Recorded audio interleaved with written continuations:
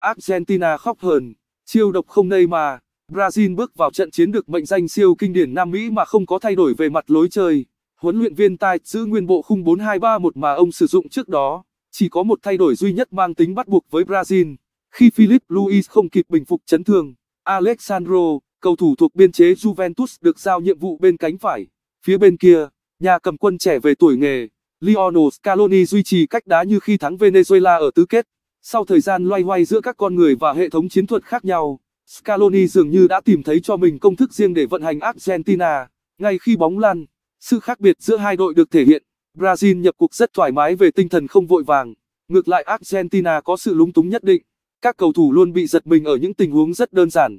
Sự thực dụng của Brazil còn được trợ giúp từ yếu tố may mắn. Lionel Messi đá phạt treo bóng tuyệt đẹp, được Sergio Aguero bật lên đánh đầu rất tinh tế, nhưng xả ngang cứu thua cho đội chủ nhà Copa America 2019. Xét một cách công bằng, hai tình huống khung thành từ chối bàn thắng của Argentina không phải những pha bóng mà họ hoàn toàn áp đảo trước chủ nhà Brazil. Cả hai pha bóng đều là phản ứng mang tính nhất thời của một vài cá nhân, chứ không phải hiệu quả từ guồng quay tập thể. Đây là điểm mà Argentina không sánh được với Brazil. Ở một giải đấu không có Neymar, huấn luyện viên Tai xây dựng một Sele cao cân bằng và có tính đa dạng cao. Brazil làm chủ cuộc chơi trong suốt 90 phút trận bán kết một Copa America 2019. Khi Argentina đẩy đội hình lên cao và tăng tốc, Selecao vẫn rất bình tĩnh kiểm soát thế trận, mặc cho đối phương tấn công. Brazil trình diễn lối đá thực dụng kiểu châu Âu, để rồi khi đối phương mất tập trung là đòn đánh quyết định được đưa ra.